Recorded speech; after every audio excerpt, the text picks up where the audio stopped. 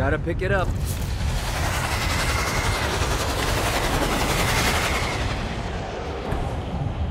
When in doubt, blast the fucking thing.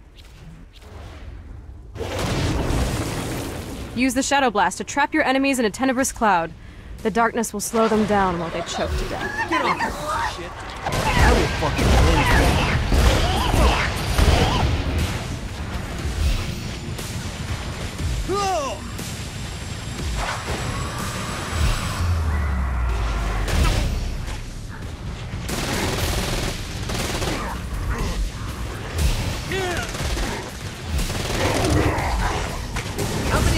eyes on it.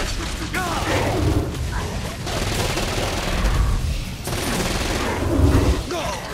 Get up!